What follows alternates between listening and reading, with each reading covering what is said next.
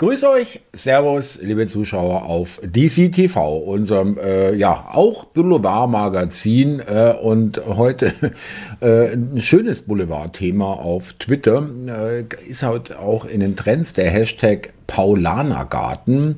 Für die, die es nicht wissen, um was es da geht, äh, Geschichten aus dem Paulanergarten. Es gab mal so eine Werbereihe der Paulaner Brauerei aus München, äh, die da so ja, unwirklich rüberkamen, ja, dass man dann äh, dazu überging, äh, offensichtlich äh, ziemlich unglaubwürdige Geschichten äh, dann mit Paulanergarten sozusagen äh, zu bezeichnen, ja, dass man sagt, hey, okay, wer soll das bitte glauben? Ja, und es gibt wirklich schöne Beispiele, es gibt noch viel mehr. Ich habe jetzt hier ein paar rausgesucht, damit ihr euch vorstellen könnt, was damit gemeint ist. Es ist teilweise unglaublich, ja. Da haben wir hier zum Beispiel, also das ist jetzt hier immer diese, das, ähm, ja, das Bild dafür, äh, das Symbol, äh, das Gift dafür, Geschichten aus Palanergarten. Und da haben wir hier schon mal äh, Jagroslav, es geht schon wieder los, äh, Judgment Day, AK Richter, was weiß ich nicht, äh, K1, das ist auch so eine Geschichte, ja, es gibt Leute, die bezeichnen ihre Kinder wirklich mit K1 und K2, ja, muss ich auch mal überlegen, ja, äh, wessen Geisteskind diese Leute sind und in welcher psychischen, äh, emotionalen Verfassung die sich befinden. K1 werden Frau und ich online Geschenke aussuchen und über Rabatte reden. Wenn ihr da so viel spart, dann könntet ihr das ganze Gel gesparte Geld ja einfach spenden. Und wisst ihr was? Ja, genauso wird es bis zum Ende des Jahres gehandhabt. Wer macht alles mit? also da sind wir schon mal nah dran. Am Balanergarten äh, ist mir noch nie passiert oder habe noch nie gehört, dass ein Kind äh, bei Weihnachtsgeschenken seine Eltern auffordert äh, zu sparen und äh, das gesparte Geld zu spenden. Ja, dann haben wir hier äh, prominente Paulanergarten Renate Künast am 18. November, gar nicht lang her. Äh, sitze mit Mantel und drei, dritter Tasse heißes Wasser. Ja, vor allem heißes Wasser. Auch zum Händewärmen im Büro. Ich zweifle, dass das 19 Grad sind. Das ist auch alles hier orthografisch unterirdisch. Ja, absolut, ja. Nächste Woche komme ich mit Decke, Wärm, Wärmflasche und Hut. Ja. Ähm, Wer will das glauben, dass eine Bundestagsabgeordnete mit Mantel und ähm, vor allem dritter Tasse heißes Wasser, wenn dann mache ich einen Tee, ja, aber wer trinkt denn bitte heißes Wasser? Also, okay, ja, vielleicht, vielleicht ist es auch wirklich warm, wer weiß. Diejenigen, die sich über die Klimastraßenkleber jetzt so efforchieren, sind großteils identisch mit jenen, die kein Problem dabei sahen, dass Corona-Leugner Krankenhauszufahrten blockierten und Ärzte und Pflegerinnen anpöbelten. habe ich jetzt so, äh, ist es an mir vorbeigegangen, ja, diese Ereignisse. Ich habe da dazu keine Meldung gehört äh, in ganz, in den ganzen, äh, in der ganzen Zeit, äh, wo äh, das eine Rolle spielte und spielt. Heute ein äh, kleiner fünfjähriger Patient zu mir. Du, wenn ihr Erwachsenen das Klima so kaputt macht, kann ich das, wenn ich groß bin, wieder, vor allem wenn ich groß, bin. Ja, das ist ein Arzt. Ja, also jedenfalls äh, kann man davon ausgehen, wenn ein Patient, wenn er von Patient spricht, äh, kann ich das, wenn ich groß bin, wieder heile machen. Eine kleine andere Patientin, all, ebenfalls fünf Jahre, fällt ihm ins Wort.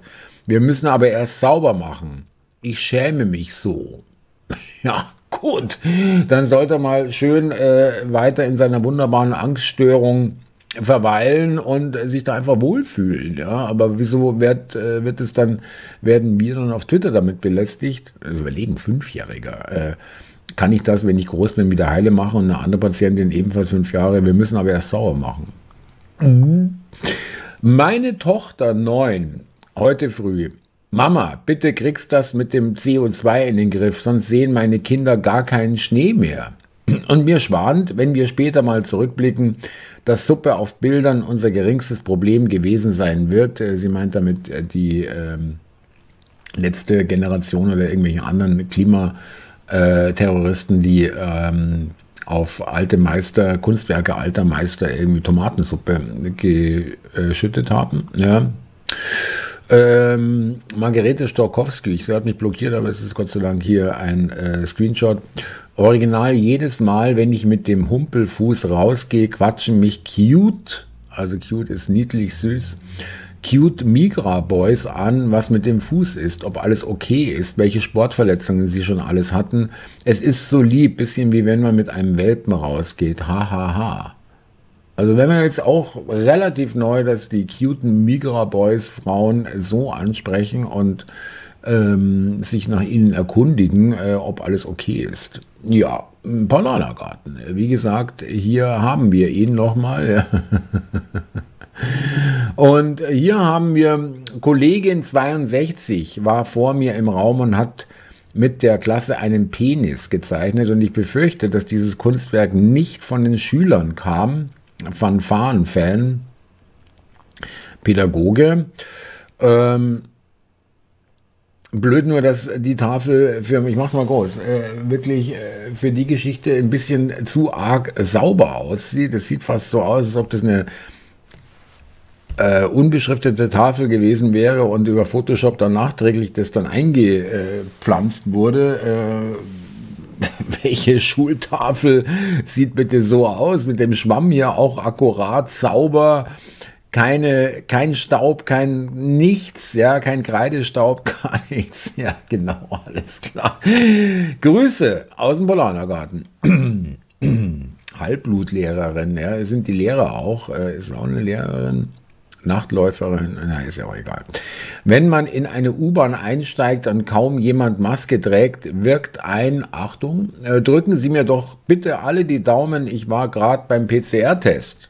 Garniert mit einem ordentlichen Husten, sehr motivierend für die Umstehen, auf die Umstehenden, die Maske aufzusetzen. Für sie getestet.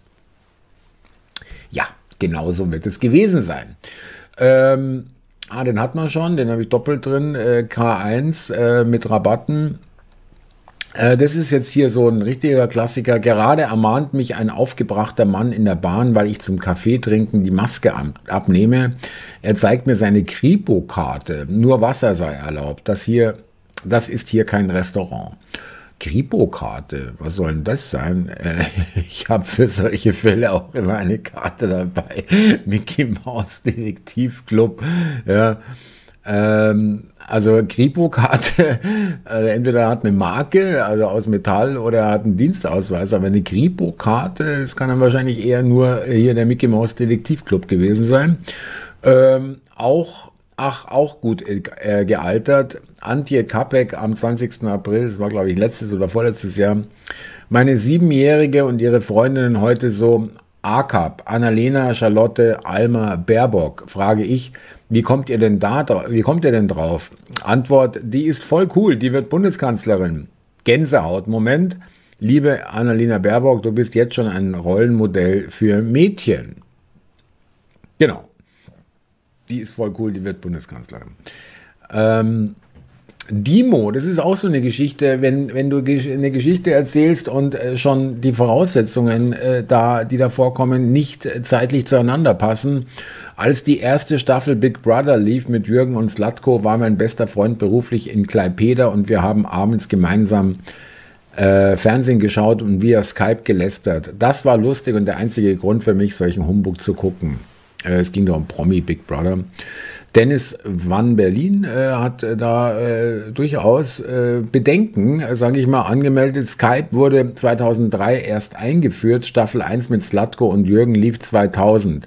Geschichten aus dem Palanergarten. Also wenn er die erste Staffel Big Brother praktisch zusammen verbunden über Skype mit einem Kumpel geguckt hat, äh, dann kann es jedenfalls nicht die erste gewesen sein, aber da gab es noch gar kein Skype. Ja, köstlich.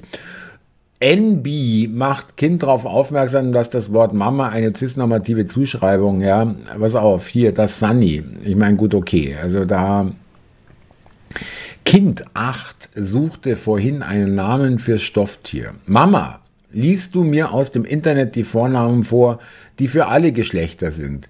Das Stofftier soll weder männlich noch weiblich sein. Das ist mir zum Liebhaben nämlich egal. Na dann, willkommen im Kinderzimmer, Jamie Joy. Und äh, das war jetzt mal hier der heutige Klassiker, deswegen hat sich auch der Hashtag gebildet sozusagen. Johannes Warwick, wer ist denn das eigentlich?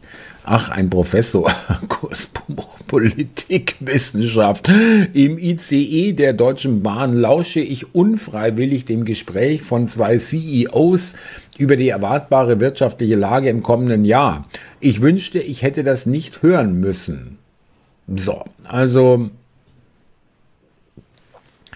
äh, CEOs fahren ja grundsätzlich Bahn, das will ich jetzt gar nicht ausschließen, aber woher weiß er denn, dass das CEOs waren und woher weiß er denn, äh, was, ähm, also wo, welche Firmen die, also es ist wirklich so idiotisch, ja, also das ist wirklich eine, eine Geschichte, äh, lausche ich unfreiwillig im Gespräch von zwei CEOs über die erwartbare wirtschaftliche Lage im kommenden Jahr. Also das ist wirklich ein wichtiger Tweet, wie er schöner nicht sein kann. Ja, äh, hier haben wir sie, die Geschichten aus dem Bananergarten. Äh, nur ein kleiner Auszug. Es gibt da wirklich viel, wo du echt sagst, wie kannst du sowas schreiben? Auch äh, K1 ähm, äh, brüllt die Eltern an, weil sie irgendwie Energie verschwenden und, und äh, keine Ahnung, äh, weil, es, weil die Erde verbrennt und, und was weiß ich. Also wirklich äh, teilweise in ein-, zweijährige Kinder werden solche Worte gelegt, ja, oder äh, äh, unglaublich, wirklich, ja.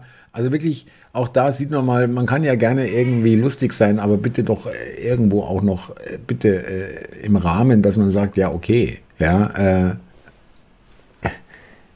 die, also wenn man, wenn der jeder Tweetverfasser er hat, begeht leider den Fehler, äh, davon auszugehen, dass jeder so dumm ist wie er selber. Jimmy, ja, okay. Und von daher, es, er sagt ja immer noch da, der alte Kater. Süß. Ja, äh, in diesem Sinne, liebe Leute, das waren die Geschichten aus dem Malanergarten, ein kleiner Auszug. Und wenn ihr so gut seid, abonnieren, teilen, liken, kommentieren. In der Beschreibung findet ihr, falls ihr Bock habt, auch noch Möglichkeiten, uns finanziell zu unterstützen auf Kofi, Bitcoin, Stripe und Deutsche Bankverbindung. Macht es gut, ihr Lieben. Servus und danke fürs Zuhören. ja, Jimmy gleich. Also. es ist kaum zu glauben, auch das Niveau, äh, auf dem sich das hier abspielt, ja, äh, wo die sich irgendwie rumtreiben, diese äh, komischen Twitter-Accounts und äh, wenn ich überlege, Professoren oder die Kühnerst als Bundestagsabgeordnete sitzt hier bei der dritten Tasse heißes Wasser. Äh, alles klar. Keine weiteren Fragen mehr. Vielen Dank fürs Gespräch und äh, Tschüssikowski.